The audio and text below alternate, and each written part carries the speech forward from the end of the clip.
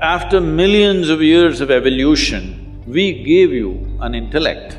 When something is sharp given to you, you must learn how to hold it, isn't it? This has become the problem because we gave you a very complex machine and you not bother to read the user's manual.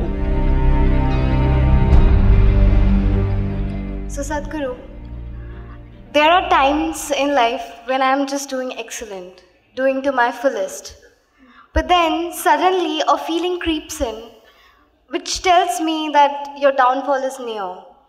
It bothers me. And Maybe you're just landing. Yes, and with this feeling getting into the system, uh, my performance actually starts to deteriorate. So, Sadhguru, how do we fight these inner monstrous voices? How many monsters do you have? Within you. I thought there's only one monster, that's you. This we must be very clear. See, if you are hearing two voices within you, an angelic voice and a monstrous voice, this doesn't mean something fantastic has happened. This means you're either schizophrenic or you're possessed. yes. You either need a psychiatrist or an exorcist. so, this is very important. This people are doing in the name of religion, in the name of spirituality, in the name of uh, so-called modern solutions to everything. In many ways, this is finding expression. in India, we have a huge vocabulary for these things. If you say anything to anybody, oh, this is my ahankara, this is my ego doing this, this is my… this is my soul, this is my this, this is my that.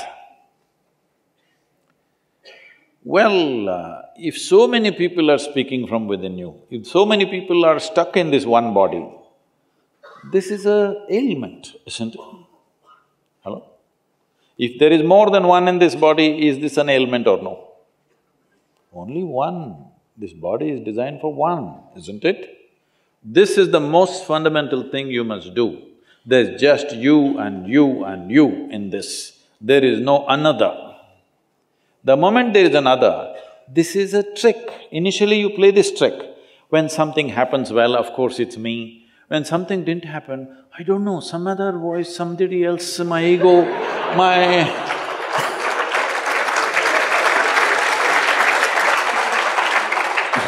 all kinds of other creatures which don't exist you manufacture in your mind.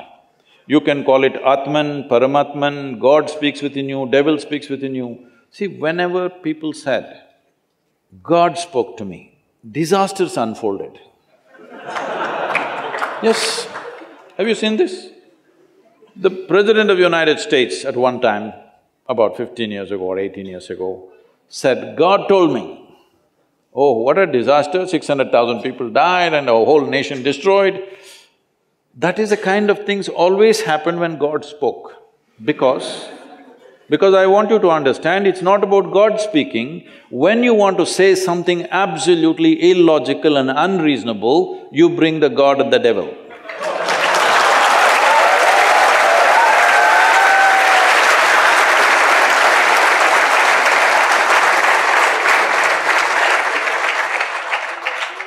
So, if there is more than one voice, you have to kill the other voices. For this, you must understand, there is a complexity to human mind. So the complexity of who we are is the greatest gift we have. Isn't it so? There is a cerebral complexity, which is what makes us who we are. This is the greatest gift. But this is what every human being is suffering. I'm asking all of you, when was the last time you were stabbed by a dagger? Hello? They're really ignoring you, okay? Maybe the biggest thing that happened to you is a mosquito bit you. That is the level of suffering that the world is inflicting upon you. Rest of the suffering is all on self-help, isn't it? So why are you suffering like this? Because I'll ask you a simple question, tell me yes or no. Because I'm also going to bless you according to your question. Do you want your intellect to be sharp or blunt? Okay.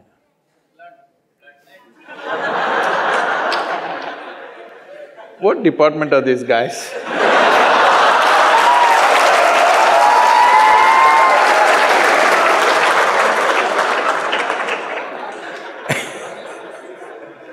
oh. Is it political science?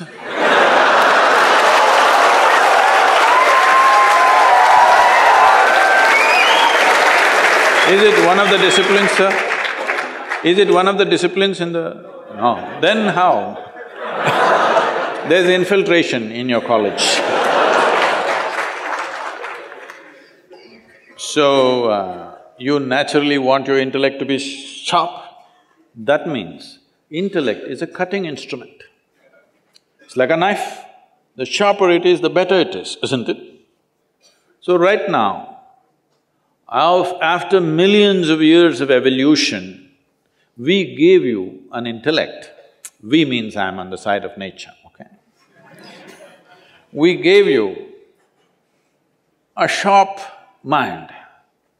Now you're cutting yourself all over the place and you're complaining about it. No, no, when something is sharp given to you, you must learn how to hold it, isn't it? You have to learn how to handle it. If you hold it at the wrong end or if you move irresponsibly, you will cut yourself. Right now, these are all individual expressions of uh, someday I feel like this, someday I feel like this. Human beings essentially are going through a whole lot of suffering. Somebody is in the war zone, somebody is in a famine zone, I will leave those human beings because that's a different scene. But the rest of the people are all suffering only one thing, their own intelligence. If you took half their brain away, they would sit peacefully. yes or no? No demons, no gods, no voices, peaceful. Yes or no? So we are complaining about the greatest gift that we have. The only reason why compared to all other creatures we are dominating here is because of our cerebral capability, isn't it? Because of the sharpness of our mind, we are able to just about do anything. And this has become the problem. So this has become the problem because we gave you a very complex machine and you not bother to read the user's manual and you're trying to handle it blindly, now all kinds of things will speak. Your own intellect has taken over your life and destroying you, make you suffer for nothing. If I leave you alone in a room, all by yourself, if you are capable of being miserable, this means you're in bad company, isn't it? Hello? if I'm with you and you suffered, maybe it's me. But you're sitting alone and suffering, this means you're in bad company, isn't it? You have to fix that one thing, that this one is never bad company. This is the best company you have.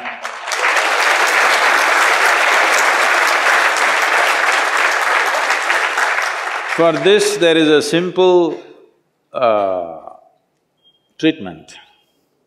This simple treatment is just this.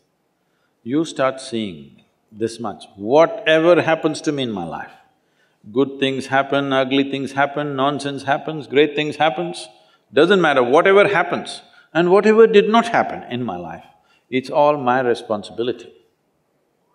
Now, there'll be only one person. If you see this is my responsibility, there'll be only one person, otherwise God will speak here, devil will speak there, Atma will speak from here, Paramatman will speak from somewhere else and they'll drive you crazy.